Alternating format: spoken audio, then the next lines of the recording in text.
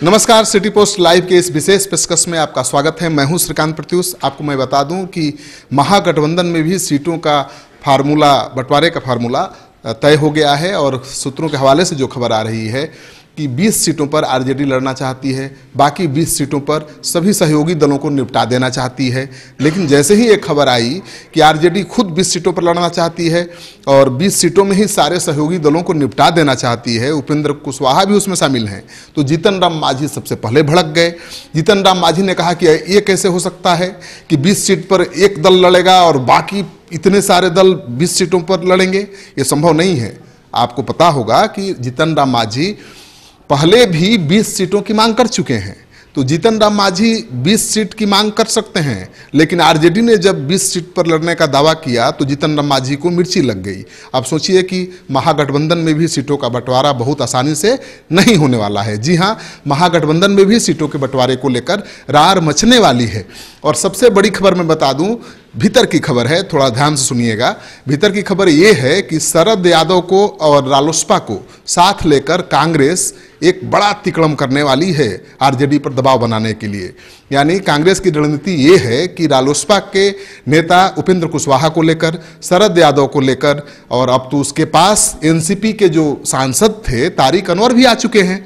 तो कांग्रेस कहेगी कि पाँच राज्यों में हमारी जीत हो गई, बीजेपी को हमने पछाड़ दिया, बड़ी दमदार हमारी वापसी हुई है और बड़े नेता भी हमारे दल में शामिल हो गए हैं, शरद यादव हैं, उपेंद्र कुशवाहा हैं और एनसीपी से आए हुए सांसद तारिक अनवर हैं। तो ऐसे में हमारा हक ज़्यादा बनता है, यानी हमें ज़्यादा सीटें चाहिए। तो उपेंद्र कुशवाहा पाँच से छः सीटों से कम पर तो समझौता करेंगे नहीं। इसी को लेकर उन्होंने एनडीए छोड़ दिया, मंत्री पद छोड़ दिया। तो मंत्री पद उन्होंने छोड़ दिया। सीटों के बंटवारे को लेकर, सीटों की संख्या को लेकर, अगर महागठबंधन में भी पाँच छः सीटें नहीं मिलेंगी तो भाई क्या हो? क्या मतलब है एनडीए छोड़ने का? तो उपेंद्र कुशवाहा कोशिश ज़रूर करेंगे कि उन्हें कम से कम पाँच सीटें मिले ताकि उनकी प्रतिष्ठा बची रहे। तो 20 सीट में कैसे कांग्रेस, कैसे शरद यादव फिर रालोसपा लड़ेगी, ये सबसे बड़ा सवाल है। और क्या जीतन राम मांझी एक सीट पर मान जाएँगे? क्योंकि एक से ज़्यादा सीट उनके पास देने के लिए नहीं है। ज़्यादा से ज़्यादा आरजेडी या महागठबंधन में जीतन राम मांझी को एक सीट मिल सकती है, फिर वामपंथी दल हैं, सब मिलकर कई सीटों की मांग करेंगे, लेकिन उनको भी एक सीट देकर उनको निपटाया जा सकता है। लेकिन फिर सवाल उठेगा कि बीएसपी है, उसे भी एक सीट तो चाहिए ही, और सपा भी है, उसको कैसे छोड़िएगा भाई? वो तो लालू यादव के समधि की पार्टी है तो उसको भी एक सीट तो देना ही पड़ेगा दहेज में। तो घमासान मचने वाला है, रार मचने वाला है महागठबंधन में सीटों को लेकर।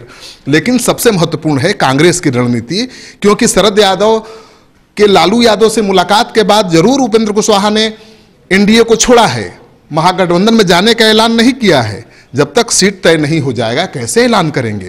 तो अब सवाल ये उठता है कि कैसे महागठबंधन के नेता तेजस्वी यादव अपने इतने सहयोगी दलों को समझाएँगे? अपने साथ लेकर चलेंगे, ये बहुत बड़ी चुनौती है।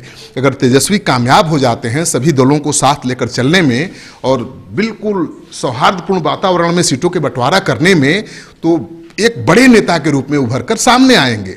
आपको ये कार्यक्रम अच्छा लगे तो अपने दोस्तों के साथ ज़रूर शेयर करिए। हमारे यूट्यूब चैनल को अगर आपने अब तक सब्सक्राइब नहीं किया है तो तुरंत करिए। आपका सहयोग समर्थन मिल रहा है। पिछले दो महीने में एक लाख पंद्रह हज़ार लोगों ने हमारे चैनल को सब्सक्राइब किया है। इसके लिए बहुत बहुत आभार। नमस्कार।